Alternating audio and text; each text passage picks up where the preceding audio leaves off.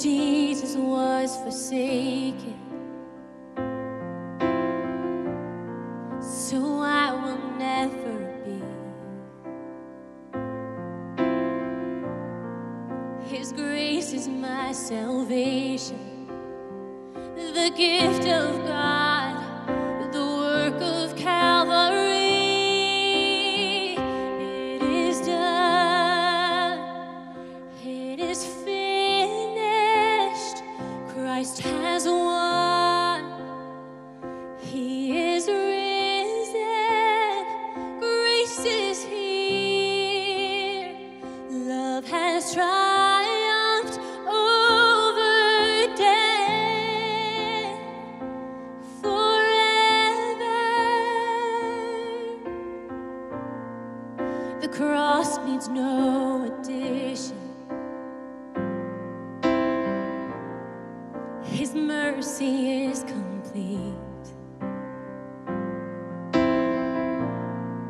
His love is not in question.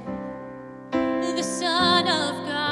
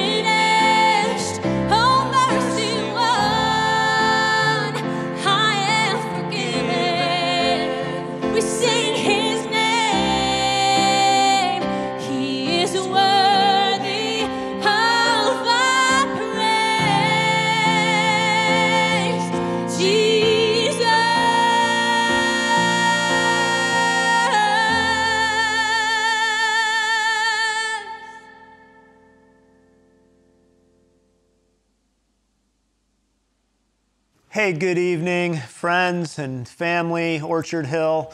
Um, it is good just to be together again in this medium. And I have the privilege tonight of talking with you about Psalm 32. And this is actually a really different psalm than most of the psalms that we've been in so far because this is what's known as a psalm of confession. We have here David confessing his sin.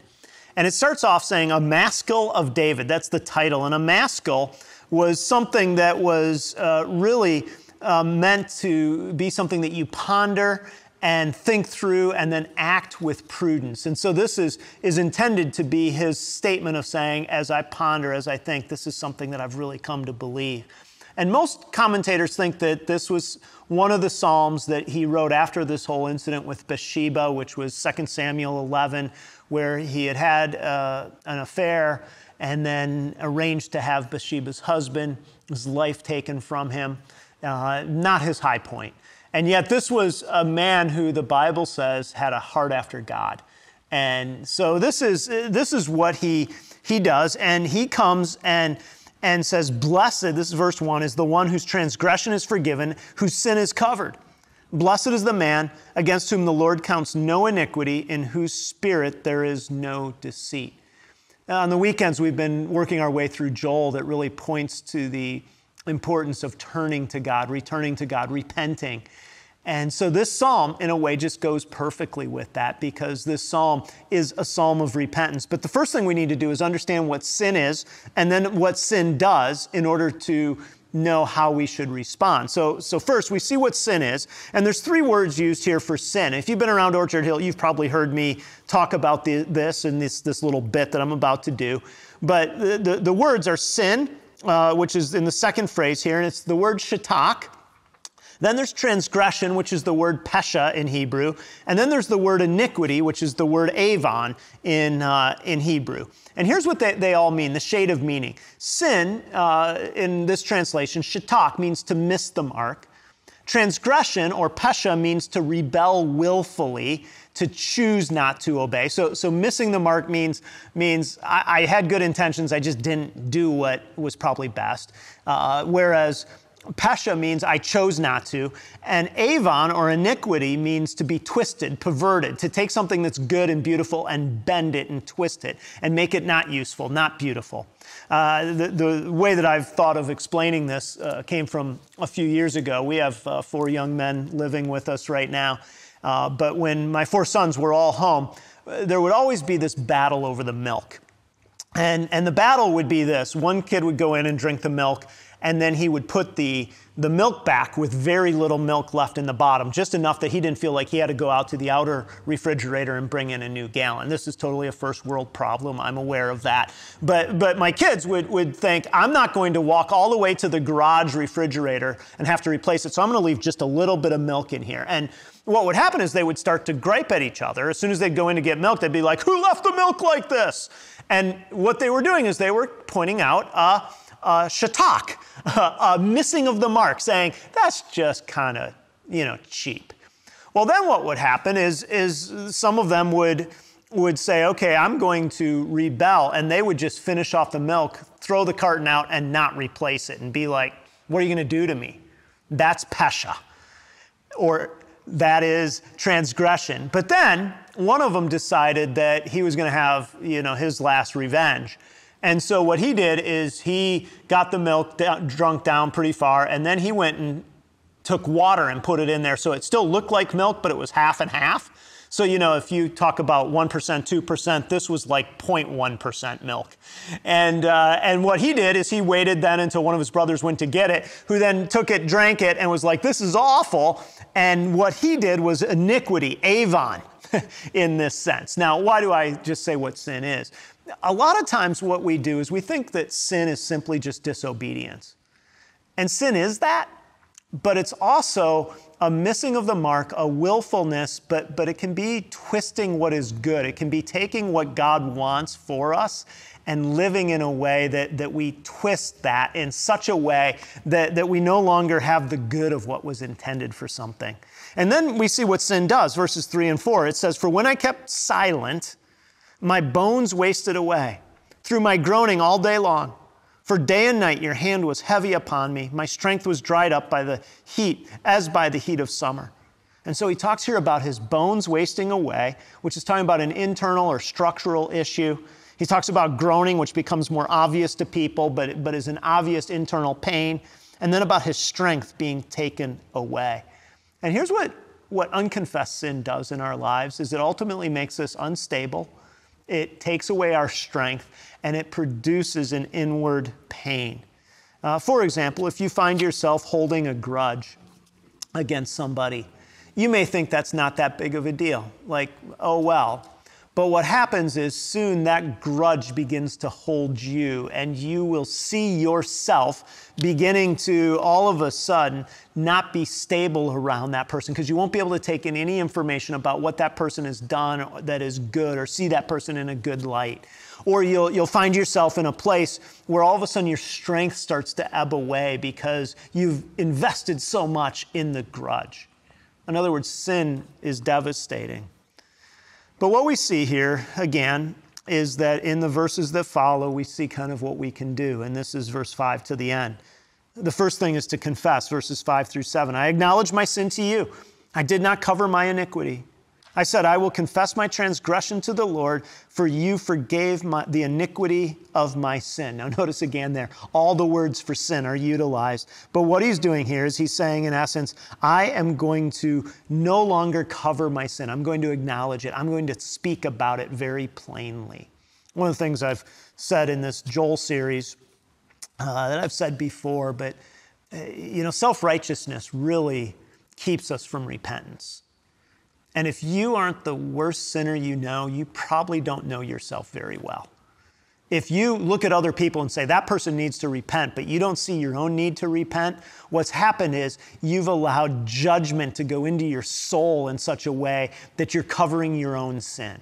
I'm not saying that there's never a time to look at somebody else and say that seems out of line. That seems like a Pesha or a, you know, Avon or a Shatak to me. What, what I'm saying is that is that the the essence of missing our chance to repent is an unwillingness to acknowledge our sin or a desire to cover our sin.